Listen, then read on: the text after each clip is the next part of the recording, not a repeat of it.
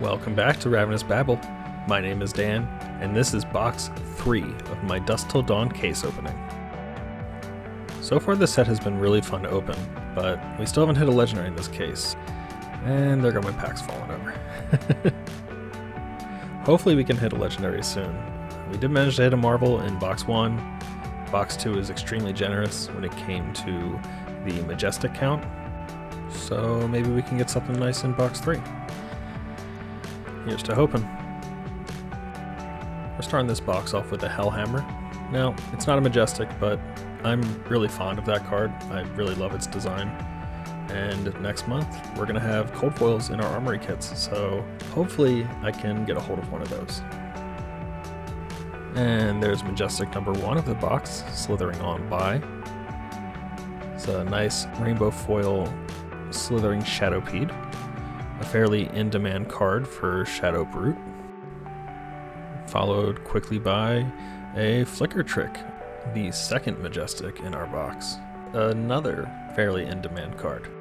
Eh, you know, Generic Illusionist only got four cards in this set, which, you know, it's more than most classes, but two of those cards are just really strong cards. Like Flicker Trick, a little conditional, but it's a great D-React, and Lost in Thought, like the disruption that that card presents is massive.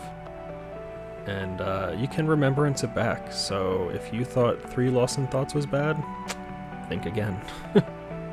Not that I'm speaking from experience. And there's our extended art Herald for the box, a Wartune Herald Yellow. Add that one to the collection. And hey, our third Majestic, a Funeral Moon. The art on that card is actually awesome. And another Majestic, two Majestics. we got a foil Hold the Line and a Dabble in Darkness. I'm still not sure why that card didn't have Go Again.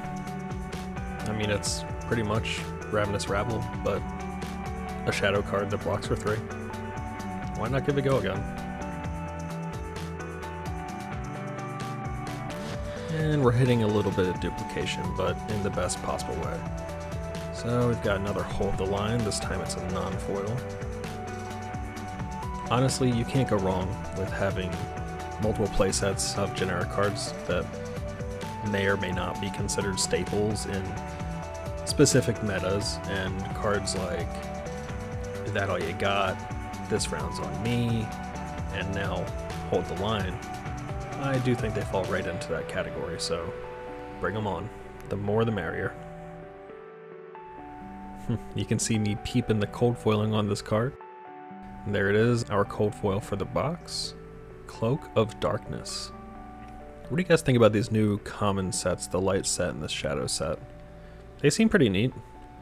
I know that the shadow hands have found a place in Levia.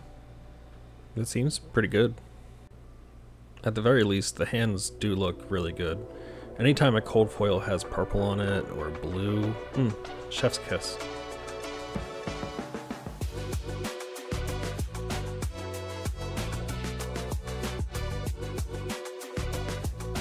Oh, hey, another extended art herald, this time a Herald of Rebirth yellow.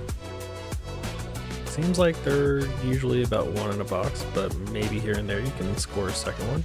And there's another Majestic, Chorus of Ironsong. Probably gonna be a new Dory staple.